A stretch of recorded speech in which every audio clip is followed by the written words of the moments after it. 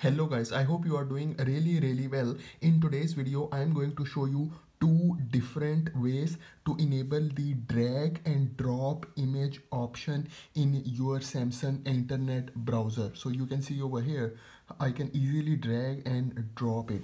So how to enable this option? So let's start. So first of all, I will open the Samsung internet browser. So here is the icon for Samsung internet browser.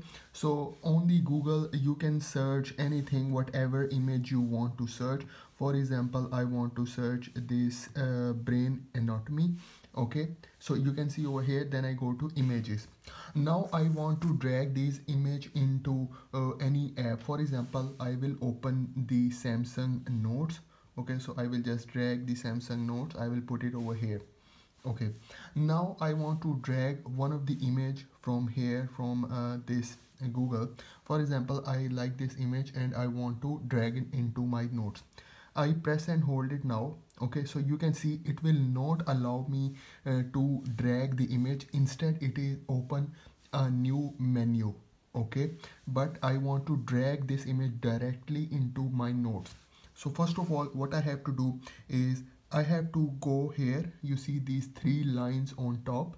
Okay you see over here. So just select them. So once you select them you see this option of settings. So this is the icon for settings.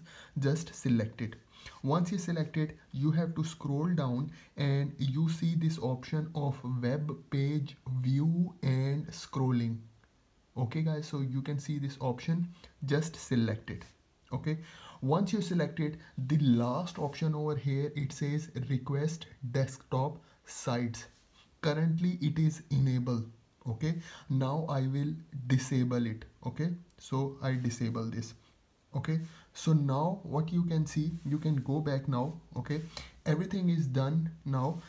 I will try to drag the image so I just press and hold with my S Pen and now you can see I can easily drag and drop the image.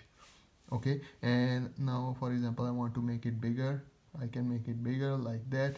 Okay? For example I like any other image. For example I like this image. I can easily drag and drop it. Okay? So you can see so this is the first method this is the first setting uh, that you can change and you can work on.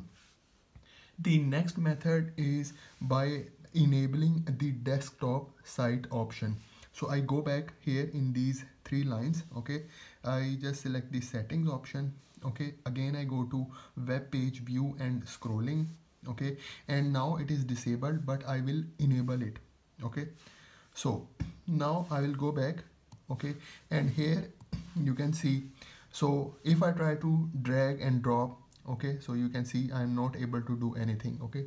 Instead it open a new tab. So once it's open a new menu over here you see this option of open in a new tab okay? You select any image. For example again I like this image okay?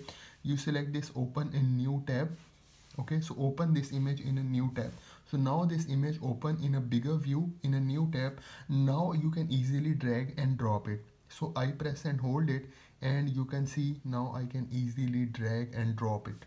Okay so this is the second method uh, that you can use to drag and drop your image if you want to uh, enable your uh, desktop site option.